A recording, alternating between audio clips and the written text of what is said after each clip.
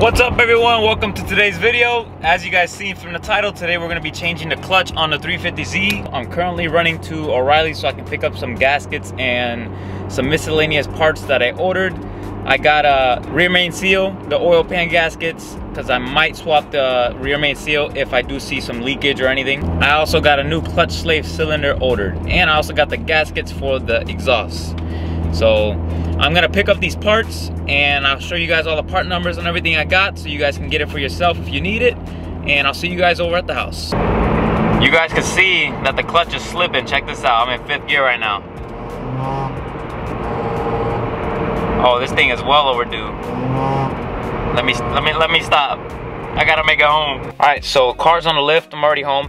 First thing we have to do is take off the shift knob and the shift boot and then take off the plastic trim. That way we can get to the three bolts that are holding the transmission cover. To take off the shift knob, all you gotta do is untwist it. But it's gonna be a little hard, so you're gonna need both your hands.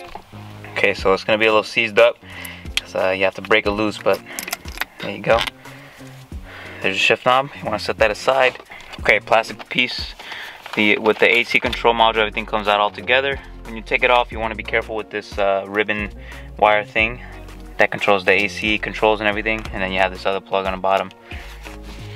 And then there's the shift boot going to the tranny. Then you gotta take out the four bolts that hold in that plate. Okay, after you take it everything off, you got this shift boot. And then you can see the bottom of the car.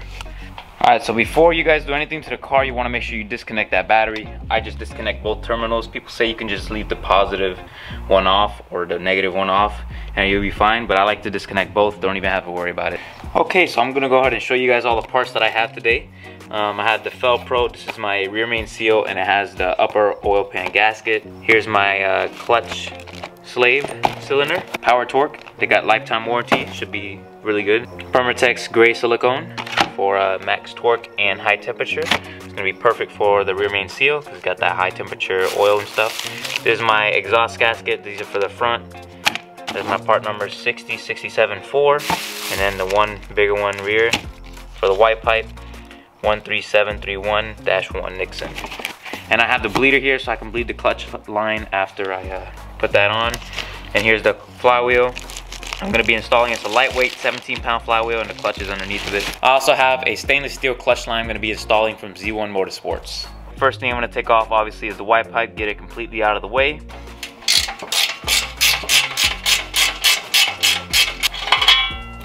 Okay. Now I can go down. There's your Y pipe. Gotta set this aside. It is starting to get chilly. Look at this sky. It looks freaking amazing makes you appreciate the world. Got the Y pipe off.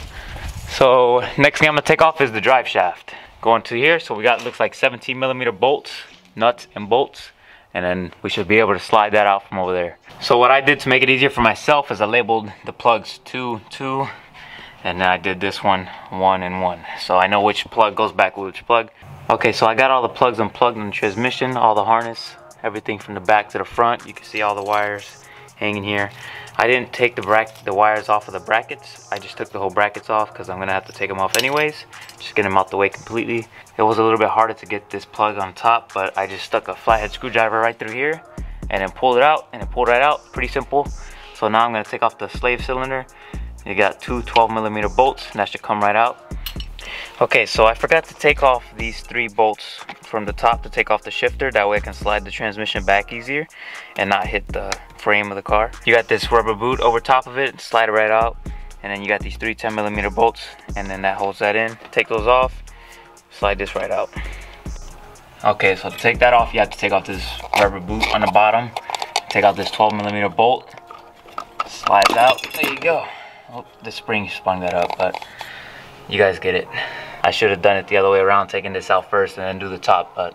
So now we take off the bolts holding the transmission to the engine. So we have 14 millimeter bolts on the bottom, and then we're gonna have some bigger 17 millimeters on the top. Don't forget to take off the shifter because you're gonna have issues sliding it back if you don't. All right, so I got all the bolts off of the transmission and I have them all nice and laid out here. Um, this is the right side, this is the left side. The two top bolts are up above I did find it that it was a lot easier taking off the two top ones from the top. So I just got on top of the motor and it was pretty much wide open. So it should be pretty easy. Two 17 millimeters on the top. Got the transmission jack there. So I'm gonna go ahead and drag that over here, set it up, get it ready about right here. This is where most of the weight of the transmission's at. And then you got the bell housing, which is blank. So most of the weight's gonna be like about right here. Um, and then I'll go ahead and take these bolts off. I can jack this up a little bit and then slide it back. So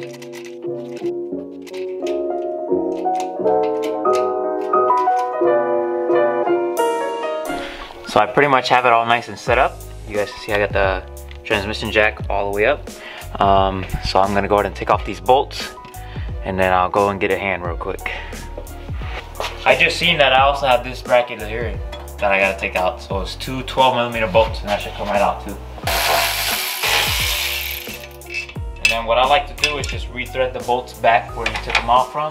That way you don't get the bolts all nice and mixed up and then you got a puzzle to put together.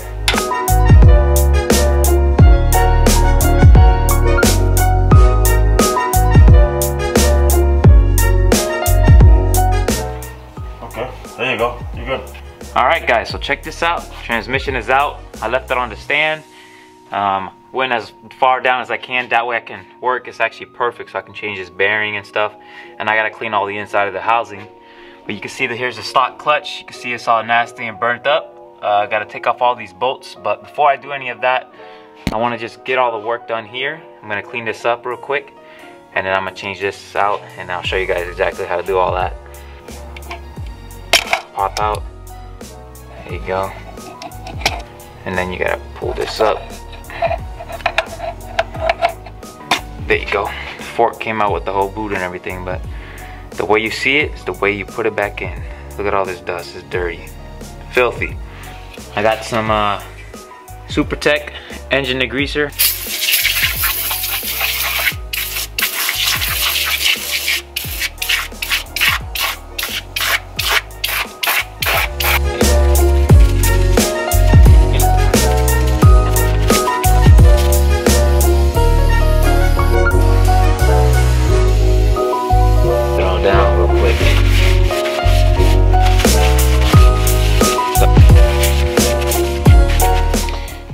We got our bearing here. It's pretty wore out. Here's the one that came with the clutch kit. Nice fresh new one. So we have what we have to do is take this one off of this and then we have to press this one on back. Put this somewhere where it's sitting on both sides like this and then you can hit this middle piece out, bam, with the socket and then you should be good. And then press the other one back in. All right, so I got the uh, new bearing pressed in, looking nice and sharp. Got the spring and everything connected to the fork. Um, it's pretty simple to understand it. Just put it back together the way you took it apart. So if you guys take a look, I'll show you. This is how it's supposed to look. You got a clip going up on the fork, and then it connects to this piece. I don't even know what it's called. So what I'm gonna be using for my transmission is some Schaeffer 229 Moly Ultra Red synthetic blend grease. This stuff is amazing. Just put it around that. You wanna put grease inside of there because that's gonna be sliding back and forth on that shaft. So you want it lubed up.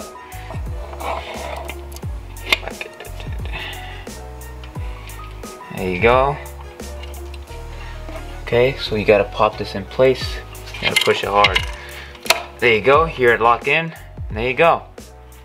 That's it. All this is brand new, basically. Check this out, guys. It makes me feel good about myself. Alright, so I'm just gonna go ahead and take off the clutch and flywheel right now. That way I can see what I'm gonna get into with the rear main seal. Wow, dust falling off of it already. Take this last one off, this thing should just drop. Ah, there you go. There it is. Here it is. You can see this thing is all burnt up. This thing is toast. Almost down to the rivets. Basically is, this thing is junk. Stock clutch lasted about 140,000 miles. So uh, I think that's pretty good. The socket that you're going to need is a Torx T55.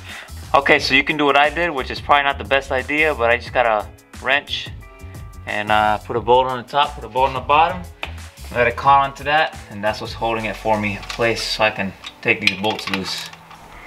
So you guys didn't see it, but I broke my uh, my Torx bit, so I don't know if I have another one. I gotta go check it. Yo, I got so lucky. I got another one, but it's in a half inch drive, so I got a I got the big boy wrench.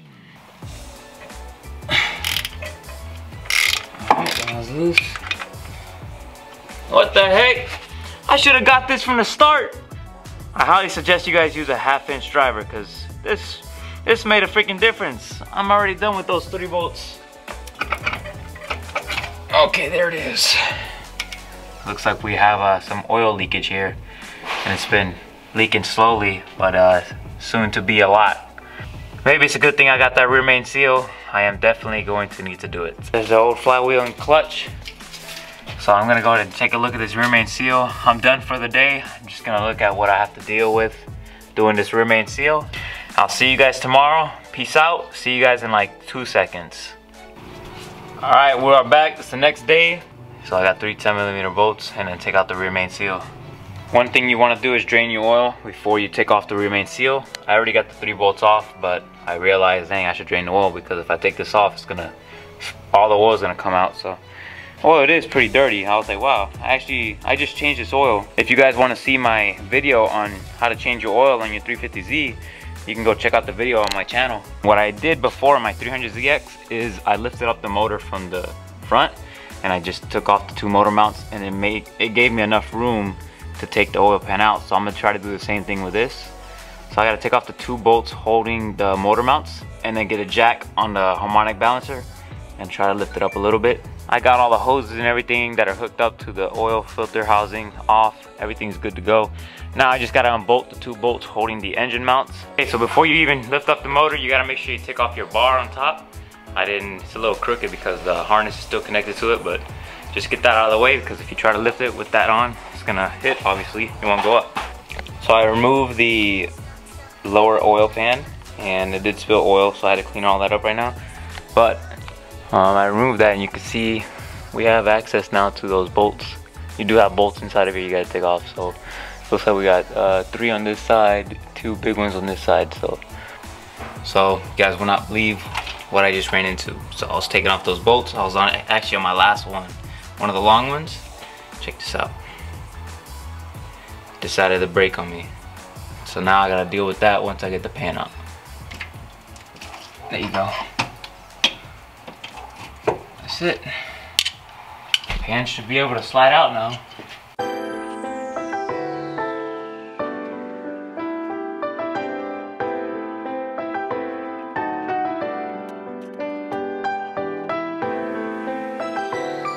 we are not able to get the motor all the way up to slide the pan out. So uh, we got it high enough so we can just clean up, clean it up, and then uh, change, put that RTV, change the gaskets and stuff, and then put the pan back on and put the motor back in place. But uh, we got it pretty high up, sketchy. Don't do this guys, just take off your subframe. Look how high that motor is. Look at the air filter next to the frame of the radiator. So the Z Gods just came through and I was luckily able to get that bolt out, the broken bolt. So now I got this tool so I can clean up all of the uh, excess RTV and just get that thing nice and cleaned up and then put that fresh RTV in so that we can throw the pan back on, put this thing back down.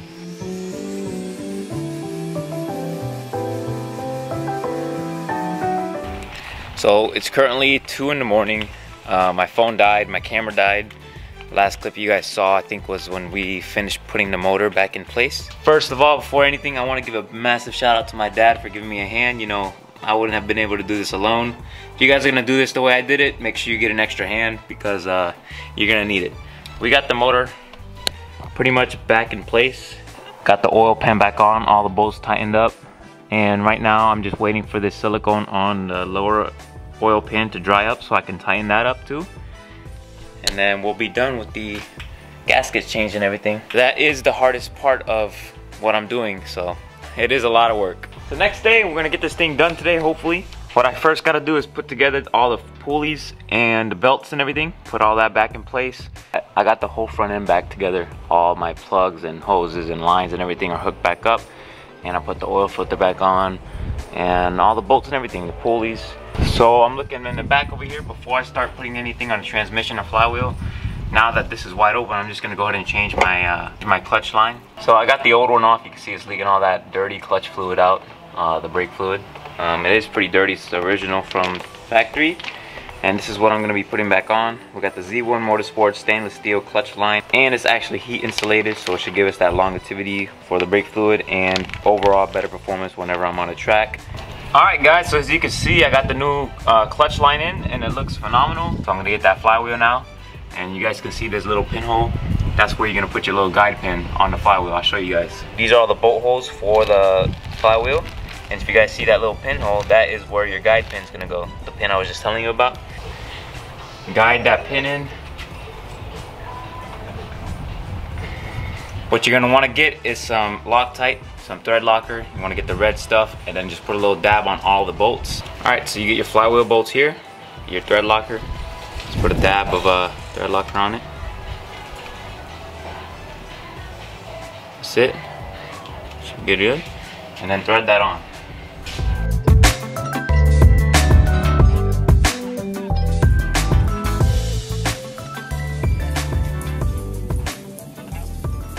Okay, 65. Let's see where we are on 65. The flywheel's gonna probably move. I don't think so. Huh? We're having some technical difficulties tightening up these bolts, but you're supposed to torque them down to 62 foot-pounds to 68 foot-pounds on the stock flywheel bolts. Foot pounds of torque, right?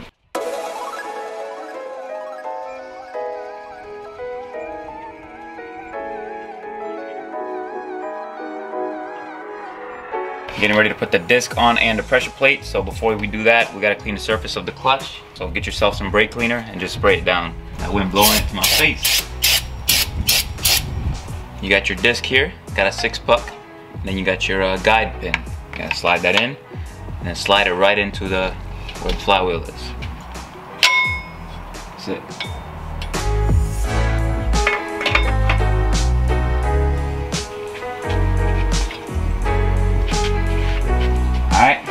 So it goes on a certain way. You can figure out how it goes on, it's pretty easy.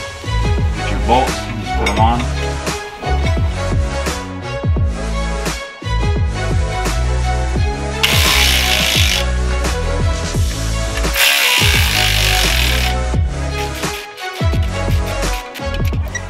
We're gonna set our torque wrench to 20 foot-pounds first, and then we're gonna torque them down in the same sequence.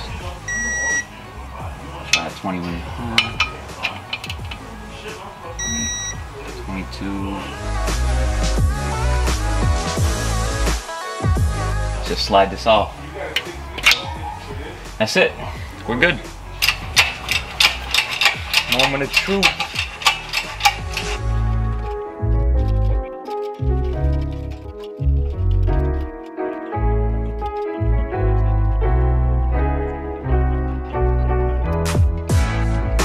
My battery died so I'm gonna show you guys the progress that we have made so far. So we got the transmission in. Um, most of the bolts are on all the bolts on the bottom are on. I just got to do the top bolts. And then right now what I'm gonna work on is doing all the harness.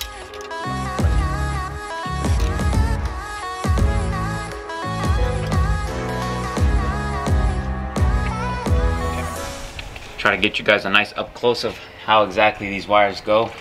You got these two here. Take both of these off So I have completely finished um, putting on all the bolts on the transmission to the block of the engine, tying on all of them, and I finished with the harnesses and all the plugs and everything, O2 sensors.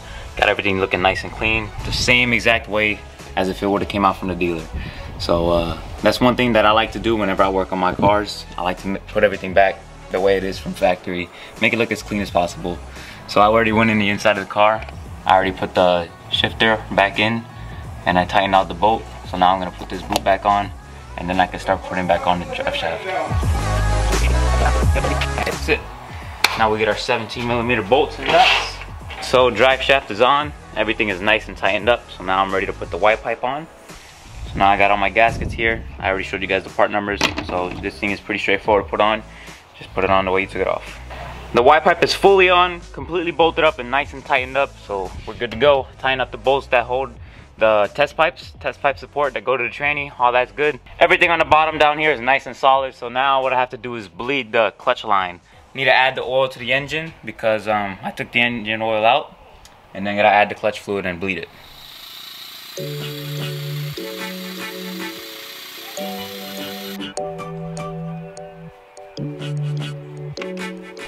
Checking the oil on the Z suck because you can fill it up and then on the dipstick it shows like if it's way over full, but you just gotta wait for all the oil to settle down. So I don't know how long I have to wait, but this thing sucks. But yeah, I'm adding oil now. Once I have the oil, then I can plug the battery in and then start the car.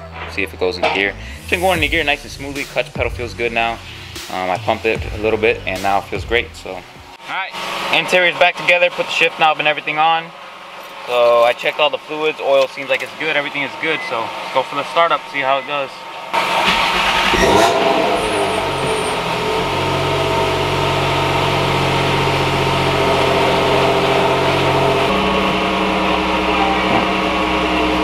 It's letting me go on the gears, so we're good.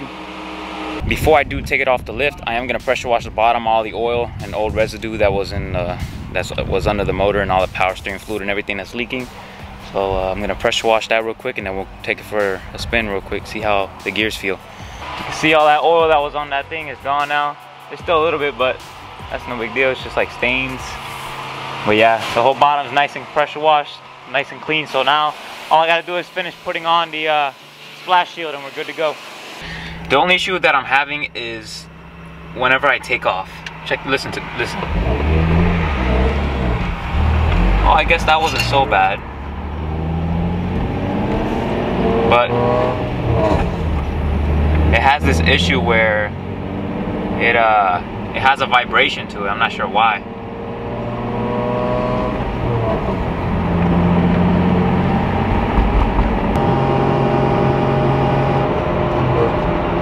Sixth gear went in pretty smooth. That one felt pretty good. Made that little vibration again going into fifth. Go to fourth right now You guys heard that, right? I'm sure you guys heard that. Yeah, it doesn't like the downshifts. So whenever I downshift now, I have to like tap the gas a little more. I still don't like the way that it feels whenever I take off, but I don't know if it's because I'm taking off too too lightly, like because I'm used to the stock clutch, so I'm not sure if I need to take off a little bit more rougher or faster, but I gotta do some research and I'll let you guys know pretty successful first drive. It drives pretty good, goes through all the gears smoothly, and uh, overall it's pretty good. So I think we, uh, hopefully, I don't want to jinx myself, but I think we had success. So this is the only issue with uh, lifting up your motor. So it was uh, pretty successful. I'm actually very happy with the results. I'm glad that the car is drivable. It drives pretty smooth, you know, overall it drives really good and uh, I just have to rev it a little bit more now, I guess because stage three. I'm gonna do some more research tonight on that and see if that's the issue. I just need to rev it a little bit more because the clutch is a lot more aggressive. It grabs like instantly, not like before where I can like release it slowly and it'll go on by itself. I actually have to rev it now to get going, but I hope this video was really useful for you guys. It was a lot of hard work for me to do all this work and film at the same time, so I really hope it was uh, useful for you guys. Hope you guys enjoyed watching today's video. This is to be a pretty long video. Probably to be my longest video yet. If you guys enjoyed watching, please give it a big thumbs up and consider subscribing if you haven't already. And uh, stay tuned for Tina. Her turbo is actually coming. Should be here sometime next week, if not the week after. But I did get some good news from Turbonetics. And uh, if you guys would like to stay updated with all that stuff, check out the Instagram at 2gioz. Put it right here, right there and uh, you guys stay updated daily. So um, thank you guys for watching. Peace out, and I hope to see you guys in the next one.